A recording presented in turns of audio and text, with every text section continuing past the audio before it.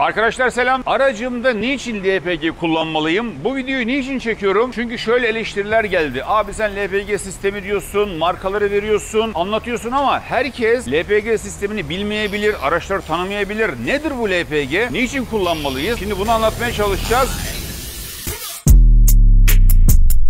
Şu anda bir istasyondayız ve bu LPG dispenser'ı, LPG'yi yakıt olarak aracı dolduran dispenser'lar. Siz bir akaryakıt istasyonuna girdiğinizde 3 farklı yakıtla karşılaşırsınız. Bunlar benzin, dizel ve LPG. Türkiye'nin gündeminde 25 yıldır var olan LPG bir alternatif yakıt sistemidir. Peki nedir LPG? Kimyasal yapısı benzine çok yakın olan, oktan olarak da benzinden daha yüksek olan verimli ve temiz bir yakıttır. Alternatif bir yakıttır. Arkadaşlar LPG LPG'nin araçlarda kullanılabilmesi için bir tank ve yeni bir yakıt sistemine ihtiyaç vardır. İşte bunun adı otogaz dönüşüm sistemidir.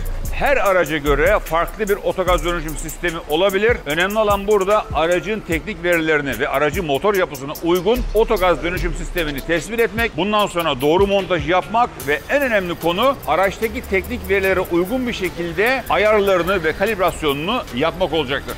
Gelelim niçin LPG takmamız gerektiğine. Arkadaşlar farklı açılardan farklı avantajları olsa da tüm dünyada ve Türkiye'de LPG kullanmanın bir tek ana gayesi var. O da ekonomik olması. Değişen fiyatlara göre değişse de, araca göre değişse de yakıt tasarruf oranı %50'yi bulmaktadır. Dolayısıyla LPG sistemi takmamızın ana gayesi ekonomidir. Yakıt tasarrufu elde edebilmektir. Şimdi aracıma LPG takmalı mıyım, takmamalı mıyım? Size iki soru soracağım. Bu soruların cevabını göre tayin edeceğiz. Birincisi aylık tüketimim 500 kilometre ve üzerinde mi? Böyle bir yolum, böyle bir benzin tüketimim var mı? Eğer bu sorunun cevabı evet ise ikinci sorum aracımın motor yapısına uygun LPG sistemi var mı? Teknik yönleriyle uygun mu? Eğer bu sorulara verdiğiniz cevaplar evet ise siz potansiyel bir LPG kullanıcısınız demektir. Arkadaşlar 25 yıldır Türkiye'de daha uzun yıllardır da Avrupa'da ve dünyada kullanılan LPG sistemi artık bir mühendislik dalı haline geldi. Üniversitelerde, otomobil bölümlerinde, mühendislik mühendislik bölümlerinde ders olarak okutulan ve ehil insanların yetiştiği bir bölüm haline geldi. Dolayısıyla tüm ön yargılarınızı bir kenara koyarak şimdi düşünün. Ben aracıma LPG taktırmalı mıyım, taktırmamalı mıyım?